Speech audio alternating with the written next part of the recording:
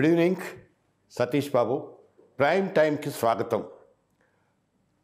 ఇవాల్టి మన అతిథి ఒక మాంత్రికుడు రాజకీయ మాంత్రికుడు.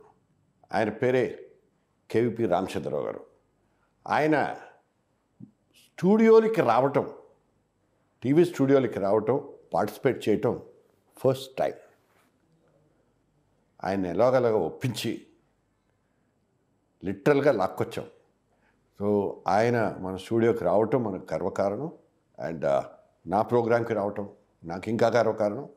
అండ్ దెన్ సుదీర్ఘమైనటువంటి రాజకీయ అనుభవం ఉండి రాజశేఖర రెడ్డిని వెనకుండి ముందుకు నడిపించినటువంటి మాంత్రికుడు ఆయన. అటువంటి మాంత్రికుడు ఈరోజు మనతో పాటు ఉన్నారు. ఆయనతో కొన్ని విషయాలు చర్చించే ముందు ఒక చిన్న one minute one minute intro please.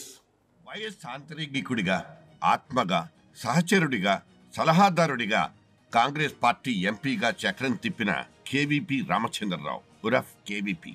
Rajasekhara Reddy నిష్క్రమణతో క్రియాశీలక రాజకీయాల నుంచి తప్పుకున్నట్లే కనిపిస్తుంది. కానీ ఆ మధ్య పోలవరం వ్యవహారం మీద ఆయన చేసిన నిరసనలు పార్లమెంటులో ఆంధ్రప్రదేశ్ స్పెషల్ స్టేటస్ కోసం చేపట్టిన దీక్ష ఇంకా గుర్తున్నాయి. ఇంతకీ కేవీపీ నుంచి మనం రాబట్టాల్సిన అంశాలు రెండు. ఒకటి వైఎస్ మరణం తర్వాత ఆయన జగన్ని ఎందుకు ముఖ్యమంత్రిని చేయాలనుకున్నారు? అందుకు ఆనాడు ఎమ్మెల్యేల సంతకాల కార్యక్రమం ఎందుకు మొదలు పెట్టారు ఆయన జ్ఞాపకాలు అనుభవాలు చాలా గొప్పవే. ఒక వ్యూహకర్తగా ఆయన ఇవాల్టి ప్రశాంత్ కిషోర్ వంటి వాళ్ళని ఎలా అంచనా వేస్తారు? ఒకవైపు జగనుడికి మరోవైపు కేసీఆర్లు ఇద్దరికీ సలహాలిస్తున్న పీకే గురించి ఆయన అభిప్రాయాలేంటి? అసలు జగన్ వ్యవహార శైలి పాలనా సమర్థతల గురించి ఆయన మనసులో మాటేంటి? అంతేకాదు ఆయన గుండెలో వైఎస్ గురించి తనకే తెలిసి నిక్షిప్తమై ఉన్న కొన్ని నిజాల్ని మనతో పంచుకుంటే బాగుంటుందని గట్టిగా ఆయనతో వాదిస్తూ ఒక చిన్న ప్రయత్నం చేసి చూద్దాం. ఆయన తన మనసులో మాట విప్పుతారో లేక దాని మీద గుడ్డ వేసేస్తారో చూద్దాం. అది కేపీ గారు. వెల్కమ్. ఇక్కడ సతీష్ బాబు గారు ఒక చిన్న సవరణ. నేను టీవీ స్టూడియోలు ఇంతకుముందు మా మిత్రులే ఉన్న ఉన్న ఛానల్స్ అక్కడ స్టూడియో ఆఫీసులకు వెళ్ళటం జరిగింది. స్టూడియోకి వెళ్ళారు. స్టూడియోకి వెళ్ళారు. అవును తెలుసు నాకు. కానీ మీరు ఎప్పుడు డిబేట్లో పార్టిసిపేట్ చేయలేదు. డిబేట్లో ఇదే ఫస్ట్ టైం స్టూడియోలో పార్టిసిపేట్ చేయటం. That's my privilege. అంటే అంటే స్టూడియోకి వెళ్ళటమే ఫస్ట్ టైం అర్థం వచ్చేట్టుగా అనిపించింది ఇందాక అది కాదు. బట్ ఇంటర్వ్యూ మటుకు ఇదే ఫస్ట్ ఇంటర్వ్యూ. జగన్మోహన్ రెడ్డి గారి బాబాయ్ వివేకానంద రెడ్డి గారి హత్య వైఎస్ రాజశిరెడ్డి గారి స్వయం తమ్ముడు సొంత తమ్ముడు. హత్య జరిగి మార్చి పదిహేనుకి మూడు సంవత్సరాలు అవుతుంది. ఇంతవరకు ఆ దర్యాప్తు కొలిక్కి రాలేదు. ఇది కాకుండా కుటుంబంలో పొరపచ్చాలు వచ్చినాయి. కుటుంబంలో విభేదాలు వచ్చినాయి. సొంత చెల్లెలతోటి విభేదాలు వచ్చినాయి. మరి వరుసకు సోదరయ్యేటువంటి సునీత గారితో విభేదాలు వచ్చినాయి.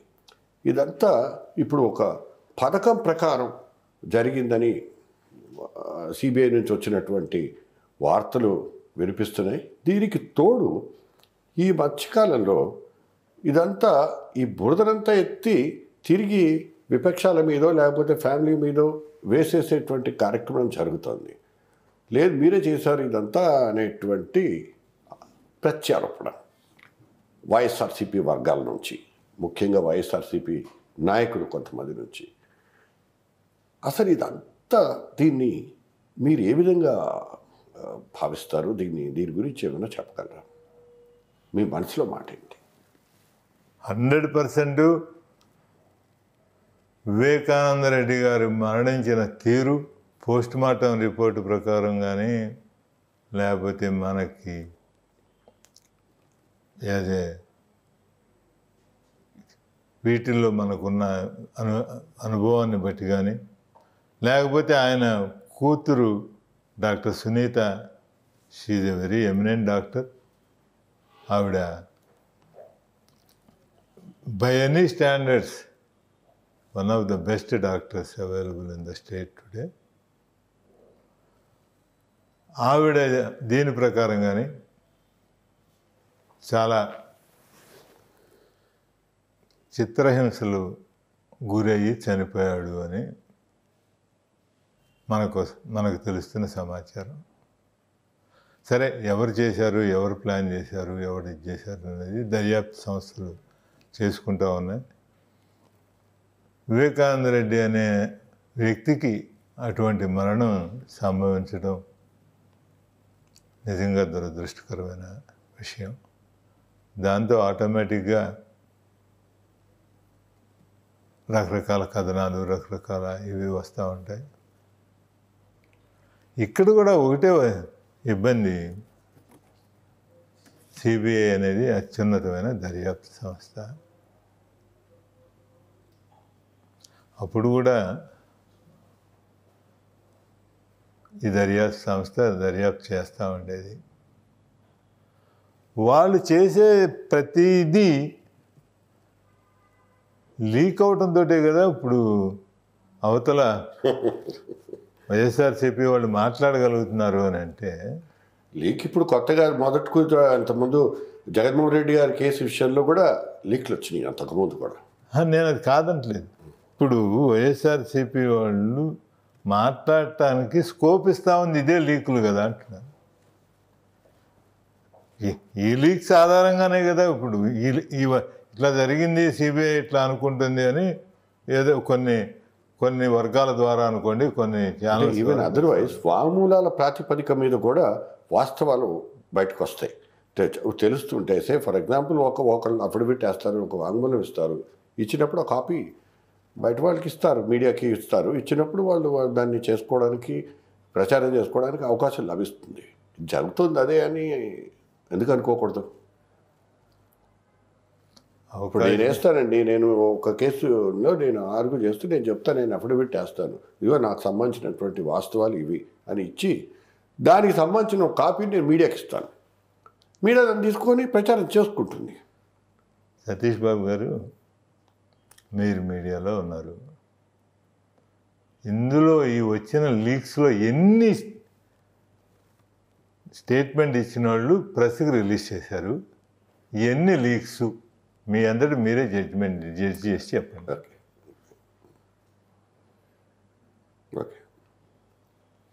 ఏ పరిస్థితుల్లోనూ వివేకానంద రెడ్డి గారి హత్యకి కారకులైన వాళ్ళు హత్యలో ఉన్నవాళ్ళు హత్యకు ప్లాన్ చేసిబడిన వాళ్ళు వాళ్ళు కఠినంగా శిక్షించబడి తీరవలసిందే.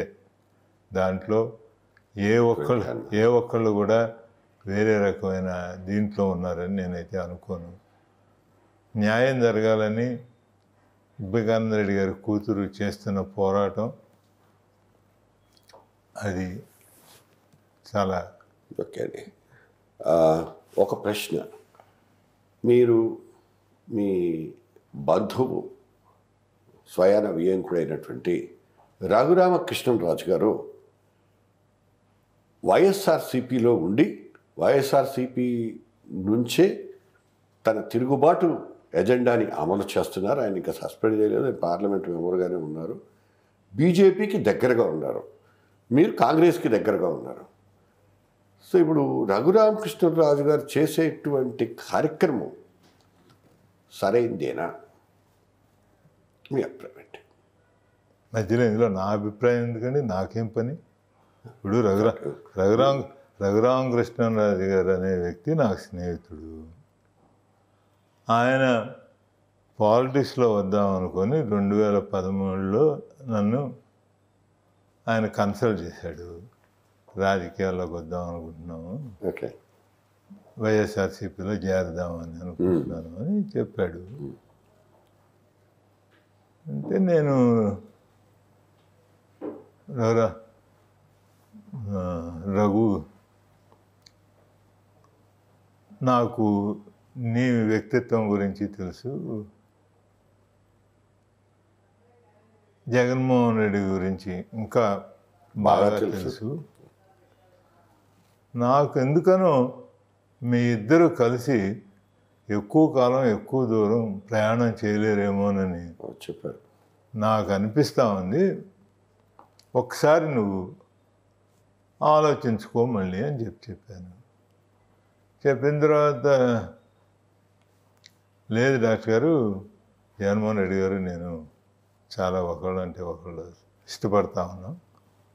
ఆయన్ని రాజశేఖర రెడ్డి గారి కొడుకుగా నేను చాలా అభిమానిస్తాను. రాజశేఖర రెడ్డి గారు అంటే నాకున్న ప్రేమాభిమానాలు మీకు తెలుసు కదా. ఆయన ఆయన కూడా నన్ను ఆత్మీయంగా చూసుకుంటా ఉన్నాడు. అసలు మీ రఘురా సహకారం రఘురామకృష్ణరాజు గారు అనే మనిషి పర్సనాలిటీకి ఒక రీజనల్ పార్టీ సూట్ అవుదేమోననే అనుమానం అటువంటి నా యొక్క అభిప్రాయాన్ని ఆయన ముందు పెట్టడం జరిగింది. ఆయన డెసిషన్ తీసుకొని వైఎస్ఆర్సీపీలో జాయిన్ అయ్యాడు. దాని తర్వాత రాజకీయంగా ఎప్పుడు ఆయన- మాట్లాడుతూ రా- ఒకరికొకళ్ళు శ్రేయోభిలాషులు ఒకళ్ళు ఒకళ్ళు మంచి జరగాలని ఇంకోళ్ళు అనుకుంటాం కానీ ఎవరి అభిప్రాయాలు వాళ్ళే ఎవరి ఇది వాళ్ళే ఆయన్ని పోలీసులు హింసించడం చాలా దారుణం అనేటువంటి మాట ఒకటి. దాని మీద మీరు ఏమైనా రియాక్ట్ అవుతారా? అసలు జరిగింది ఎంత తప్పు అనేటువంటి ఇప్పుడు ఎవరైనా సరే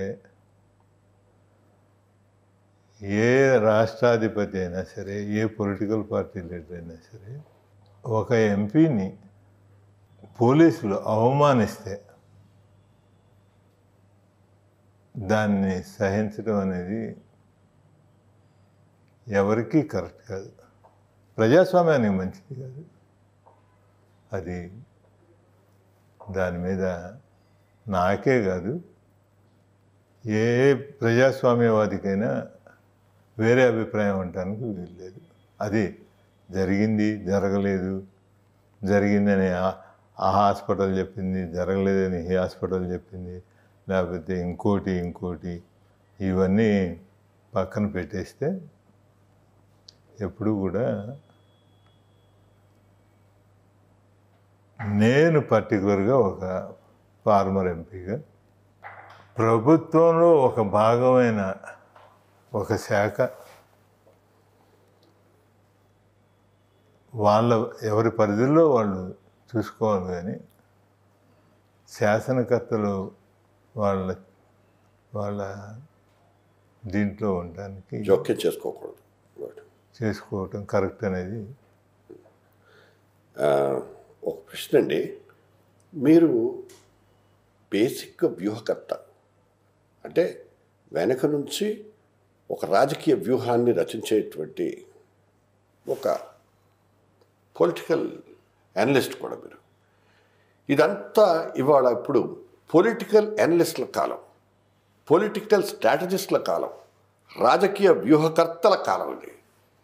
సో ఈ వ్యూహకర్తల్లో ప్రథముడు ఈ దేశంలో ఉన్న వివిధ రాష్ట్రాల్లో ప్రభుత్వాన్ని నిలబెట్టి ఒకటి చోట్ల ఫెయిల్ అయి ఉండొచ్చు బట్ ప్రశాంత్ కిషోర్. ఈ ప్రశాంత్ కిషోర్ లాంటి వ్యక్తుల మీద వాళ్ళు వేసే వ్యూహాల మీద మీ అభిప్రాయం ఏంటి? ఏమోనండి? నాకు ప్రశాంత్ కిషోర్ గారు ఆయన తక్కువ వాడని కానీ లేకపోతే ఇంకోటి అని కానీ ఇంకోటి నేను అనుకోను. డెఫినెట్గా ఆయన గొప్ప వ్యూహకర్త అయి ఉండొచ్చు గొప్ప స్లోగన్స్ కానీ లేకపోతే ప్రోగ్రామ్స్ కానీ చేసుకుంటూ ఉండొచ్చు. బట్ చాణక్యుడు ఎప్పుడూ రాజు కాలేడండి. చాణక్యుడు రోలు చాణక్యుడికే. చంద్రగుప్త మౌర్య కింగ్. కింగ్. ప్రశాంత్ కిషోర్ రాజకీయ పార్టీలో కాంగ్రెస్లో చేరాలని చా- వచ్చాడు. చాలా చర్చలు జరిగినాయి చాలా దాని మీద అభిప్రాయాలు జరిగినాయి చాలా I mean not for a day there were many these things even Rahul Gandhi garu నన్ను? నన్ను పర్సనల్గా ఆయన నన్ను పర్సనల్గా పిలిచి అడిగిన దాంట్లో ముఖ్యమైన పాయింట్ కూడా ఇది. ప్రశాంత్ కిషోర్. ప్రశాంత్ కిషోర్ కాంగ్రెస్ పార్టీలో చేరితే ఎట్లా ఉంటుంది? నువ్వు అతని ఇది చూసావు కదా దాంట్లో ఏమిటి అని. ఇప్పుడు ఇవాళ కాదు టూ థౌజండ్ ఫోర్టీన్లో మోడీ విజయంలో ఆయనదే ప్రధాన పాత్ర అని ఒక ఒక నానుడు ఉంది. నానుడేమన్నా వాస్తవం కూడా. ఆ, స- వాస్తవం వాస్తవం అని మరి మీరు మోడీతో చెప్పించండి. లేక- లేకపోతే ఒక ఒక బీజేపీ మంత్రితో అనిపించండి ఆ మాట. మోడీ మోడీ గారు అక్కర్లేదు. ఎవరో ఒక బీజేపీ మంత్రితో అనిపించింది సార్ మరి అదే ప్రసాద్ కిషోర్ని మీరు తెచ్చుకున్నారు తెచ్చుకుని మాట్లాడుకున్నారు అని అంటే అందులో వాస్తవం ఉండబట్టే కదా. ఇక్కడ కొంచెం డిఫర్ అవుతుంది. నాకున్న ఇన్ఫర్మేషన్ బట్టి Prashant Kishor wanted to join Congress party. నా నాకు అర్థమైనంత వరకు అప్పటి సిచ్యువేషను మా మధ్య జరిగిన సంభాషణల వరకు. సో అక్కడ మరి ఎక్కడ ఇదైందో ఏమైందో తెలియదు ఎన్ని కోట్లు తీసుకుంటాడండి ఆయన మామూలుగా ఈ వ్యూహాలు రచించడానికి? వ్యూహాలు రచించడానికి ఐడియా లేదు అందుకని. చాలా వ్యూహాలు రచించడానికి కాదు అతనికి మ్యాన్ పవర్ చాలా బాగుంటుంది. కోర్స్ సర్వేలు చేస్తాడు. దానికి ఒపీనియన్ బిల్డప్ చేసుకోవడానికి జనంలో ఇవ్వటం ఏ ఏ ఫీడ్బ్యాక్లు ఎట్లా వస్తాయి అనేది చేసుకోవటం. ఇప్పుడు ఇప్పుడు ఆంధ్రాలోనూ అటు తెలంగాణలోనూ ఇద్దరికీ కూడా ప్రసాద్ కిషోరే సలహాలు ఇస్తున్నారు. ఇంకోవైపు షర్మిలకు కూడా తన టీం మెంబరు హెల్ప్ చేస్తున్నాడని చేస్తానని చెప్పి ఆయన ఓపెన్గా ఇచ్చినటువంటి స్టేట్మెంట్. ఏంటి ఇంతమందికి ఎలా ఇచ్చేస్తాడు ఆయన సలహాలు? కాంట్రడిక్టరీ అంటే పరస్పర విరుద్ధమైనటువంటి భావాలు ఉన్నటువంటి రెండు రాష్ట్రాలు పక్క రాష్ట్రాలు ఒకే వ్యక్తిని సలహాదారుడిగా ఎలా ఎంపిక చేసుకుంటాయి? దీన్ని ఎలా అర్థం చేసుకోవాలి? వాళ్ళకుండే ప ప్రత్యేక పరిస్థితులను బట్టి వాళ్ళకుండే వీటిని బట్టి వాళ్ళు కావాలనుకునే వ్యూహాలను బట్టి ప్రశాంత్ కిషోర్ గారిని ఎంపిక చేసుకోవడం జరుగుతూ ఉంది. దాని ముఖ్యంగా ఆయన బెంగాలు మమతా బెనర్జీ గారి విజయం అక్కడ బీజేపీ సర్వశక్తులు వడ్డిన తర్వాత కూడా ఆయన చెప్పిన వాళ్ళకి ఏ పరిస్థితిలోనూ మూడు అంకెల సీట్లు రావు వంద సీట్లు రావు అని ఆయన ఖచ్చితంగా అది కనుక జరిగితే అది జరిగితే నేను ఉండను అన్న తర్వాత ఆయన ప్రొఫైలును ఆయన పర్సనాలిటీ దేశంలో డిఫరెంట్గా ఉంది. అంతకుముందు ఒక రకంగా ఉండేది.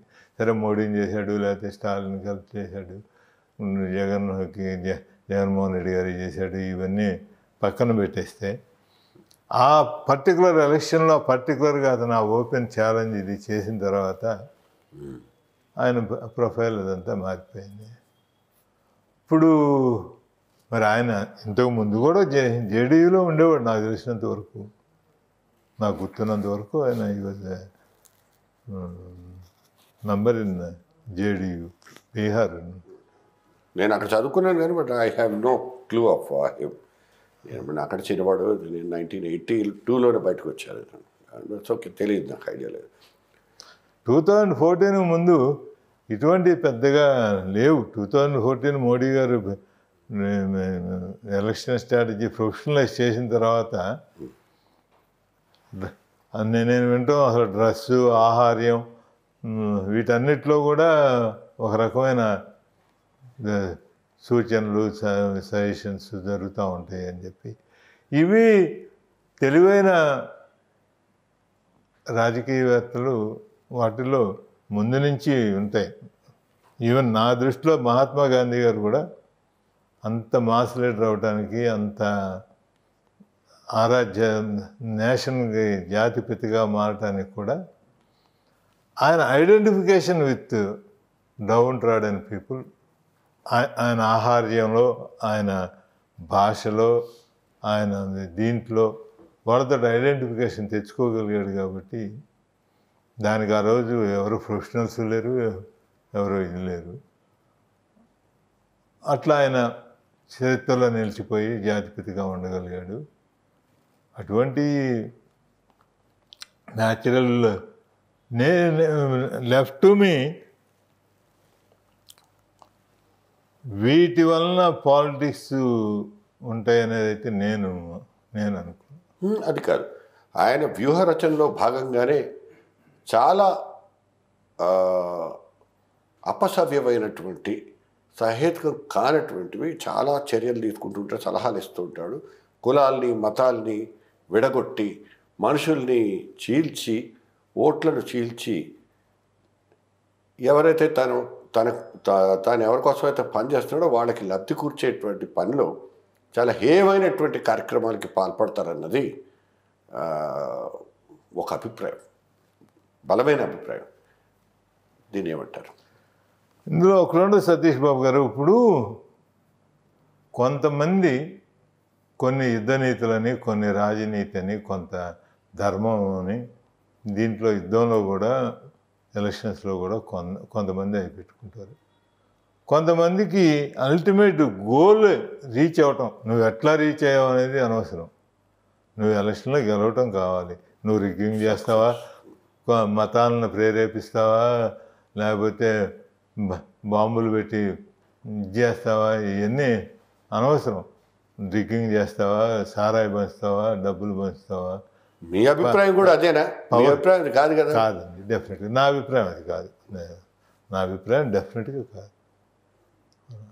సమాజాన్ని మనం వీలుంటే సమాజానికి ఎంతో కొంత సేవ చేయాలి కానీ సమాజాన్ని ముక్కలు ముక్కలుగా చేసేసి ఇది చేసి ఒకటి చెప్తున్నాను సతీష్ బాబు గారు నేను రాజసీయోగం నాటి ఇంద్రప్రస్థాన్ని రాజసీయోగం నాటి హస్తినాపురిని పరిపాలించాలి నేను కానీ నా పార్టీ కానీ నా మిత్రుడు కానీ అనుకుంటా కానీ కురుక్షేత్రం అయిపోయి గెలిచిన తర్వాత యుద్ధంలో మిగిలిన హస్తినాపురాన్ని పరిపాలించాలని నేను అనుకోను. నా మనిషి కూడా ఎవరు? ఏముందండి? కురుక్షేత్రంలో పాండవులు గెలిచారు. గెలిచిన తర్వాత ఏం మిగిలింది వాళ్ళకి? శ్మశానం వైధవ్యాలు శరీర ఖండాలన్నీ మొక్కలు మొక్కలైన ప్రదేశాలు. కనీసం కొరువు పెట్టడానికి కూడా మనుషులు లేని వాతావరణం. ఎందుకంటే ఆ రాజ్యం దానివల్ల జరిగేది ఏంటి? థ్యాంక్ యూ వెరీ మచ్ అండి. మీరు చాలా విషయాలు వద్దనుకుంటానే మాకు చెప్పారు. ముఖ్యంగా జగన్మోహన్ రెడ్డి గారి పాలన వ్యవహార శైలి ప్రశాంత్ కిషోర్ విషయంలో కానీ లేకపోతే వివేకానంద రెడ్డి గారి హత్యకు సంబంధించినటువంటి విషయంలో కానీ మీరు వెలిబుచ్చినటువంటి అభిప్రాయాలు రఘురామకృష్ణరాజు గారి గురించి చెప్పినటువంటి అభిప్రాయాలు మా ప్రేక్షకులకి డెఫినెట్గా ఇంట్రెస్టింగ్ ఉంటాయి. అండ్ దెన్ మీరు మా స్టూడియోకి వచ్చి ఫస్ట్ టైం ఒక డిబేట్లో ఇది డిబేట్ కూడా కాదు ఇది కాస్త ముచ్చటించుకోవడానికి ఒక అవకాశం మాకు ఇచ్చినందుకు సుమన్ టీవీ తరఫున జర్నలిస్ట్ డైరీ తరఫున థ్యాంక్ యూ వెరీ మచ్ నేను I take this as a privilege చాలా చక్కగా డెవలప్ అవుతా ఉన్న ఒక సంస్థలో. ఇండైరెక్ట్గా ఒక నేను తోడ్పడగలిగినందుకు ఆనందంగా ఉంది. సో మాకు అవసరమైనప్పుడు మీరు మళ్ళీ రావాలని పదే పదే రిక్వెస్ట్ చేస్తూ సెలవు తీసుకుంటాను. Thank you thank you very much